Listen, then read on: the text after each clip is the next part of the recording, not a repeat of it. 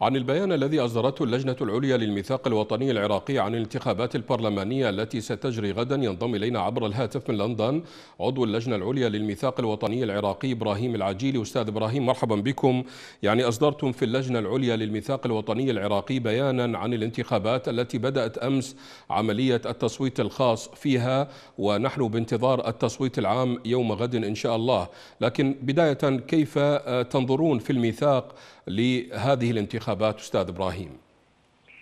إحنا ننظر لها هي لعبة مدروسة ومرتبة تحت نعم. هيمنة الميليشيات وهذه الكتل السياسية اللي حاسبين نفسهم أحزاب سياسية هم مرتبين كل شيء وبدأوا يعني آه، أخذوا تصويت الجيش والحشد الشعبي نعم. وهي كلها مؤسسات محسوبة لهم وأنا أعتقد ما ما ما يلزم الجندي أو الحشد الشعبي إن كان جندي أو شرطي ما ملزم أن يصوت لأن هذول هم هم جهاز السلطة هذول نفسهم. نعم. وبالتالي الكتل السياسية نفسها التي تدعي هي أحزاب سياسية وتمثل الشعب العراقي هي نفس الكتل الطائفية المهيمنة على القرار هي نفسها الآن هي المرشحة. هي اللي تقود عملية الترشيح هي تقود عملية التصويت هي اللي قادت هي اللي رتبت القوانين الخاصة بعملية الاقتراع. نعم. فضلا عن أنه عمليات الفساد والبيع والمزاد والشراء ببطاقات الناخب موجودة علنا موجودة. فضلا عن أن هناك طباعة بطاقات انتخابية دوبلوكيت. يعني أنا عندي بطاقة انتخابية وهناك بطاقة انتخابية إلي موجودة عندهم. وآخرين عشرات من الناس هكذا نعم. يعني أي شكل من أشكال الديمقراطية وال, وال وعدم التزوير والأصول القانونية متوفر في هذه الانتخابات. هذه الانتخابات أصلا أبشع نوع من الانتخابات حدثت في العراق في سلسلة هاي السنوات اللي فاتت والعراق تحت هيمنة هذه العصابات الطائفية هو هذه الدورة أسوأ دورة نعم. انتخابية مم. طيب نعم.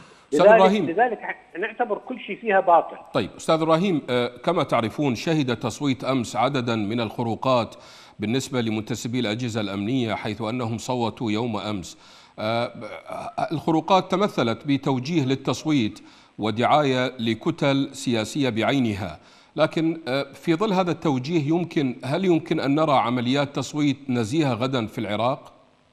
لا لا ابدا ابدا م. نهائيا. لا توجد عمليات تصويت نزيهه توجد شراء ويوجد اتفاقات وتوجد صفقات ويوجد تزوير وتوجد أعمال عنف أصلا. يعني هناك مكتب من مكاتب المرشحين في تكريت نسف قبل يومين. نعم. نسفوه بالمتفجرات. فكيف تكون هذه صحيحة؟ وكيف تكون هذه قانونية؟ حتى المزايدات الموجودة والاستحواذ على الأصوات بالطرق المختلفة إن لم نعم. يتمكنوا بالإرضاء بالشراء بالفلوس وإن لم يتمكنوا بالإرضاء بوظيفة ولا شيء من القبيل بالمواعيد إنما يصادرون رأيك بطريقة التزوير المباشر وهناك لكن لكن لكن أستاذ إبراهيم الانتخابات مراقبة دوليا من خلال مراقبين أجانب من عدة دول، كيف لها أن تكون غير نزيهة في ظل المراقبة الدولية؟ لا يمكن لا يمكن المراقبين الدوليين يستطيعون أن يضبطوا عملية الانتخابات ابدا لأن الجهاز القانوني مالتها ونظامها هو نظام خاطئ ومشكوك فيه ولا ولا ولا ولا يمكن لواحد مراقب دولي يستطيع أن يعرف ماذا سيحدث في الجهاز وفي التصويت وفي م. تشطيب الأسماء وفي وفي البطاقات الانتخابية لا يمكن أن يغطون هذه المعلومات كلها بهذه الطريقة اللي تحدث عندنا بالعراق وتعتبر حملة الانتخابات هذه هي أسوأ انتخابات في تاريخ هذه العملية السياسية.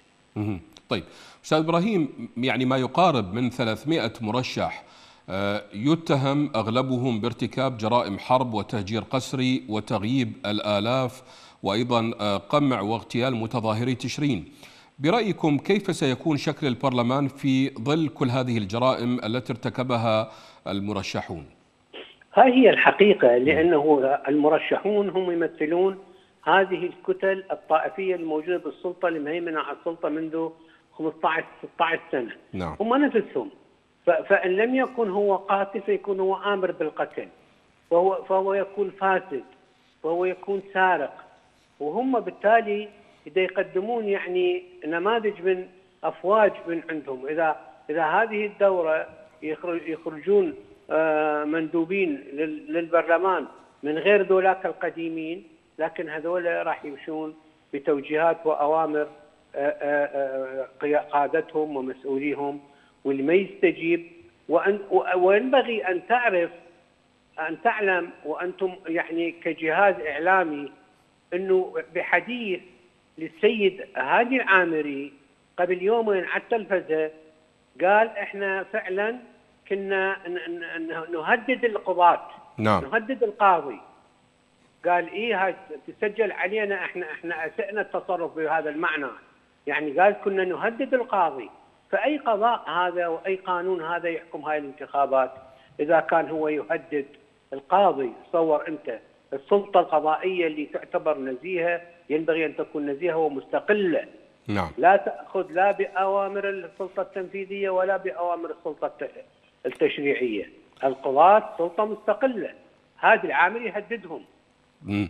طيب فاين أين يلوذ الشعب العراقي؟ وأين يلوذ الناخب إذا انتخب غير هذول ليش هو الناخب النظيف يقدر يرشح ما يقدر أستاذ إبراهيم ما يخلوه. نعم. نعم أستاذ إبراهيم قلتم في بيانكم في بيان اللجنة العليا للميثاق الوطني العراقي قلتم آه إن إيران هي المستفيد الأول من هذه الانتخابات، كيف تكون الاستفادة؟ هلا أوضحتم لنا أستاذ إبراهيم؟ الاستفادة طبعا لأنه هي إيران مهيمنة على العراق بأدواتها. أدواتها تبدأ من أشكال التنظيمات السياسية اللي موجودة. نعم. بغض النظر عن أنا أعدد اسمائها أو لا ما أعدد اسمائها فهم نفسهم راح يجون اللي هم أتباع إيران. ويهيمنون أيضا بقوة السلاح بواسطة الميليشيات اللي مرتبطة بإيران مباشرة. البندقية فوق رؤوسنا. البندقية فوق رؤوسنا لا يمكن لا يمكن. البندقية بيد إيران وليس بيد أحد. نعم. من لندن عضو اللجنة العليا للميثاق الوطني العراقي إبراهيم العجيلي. شكرا جزيلا لكم.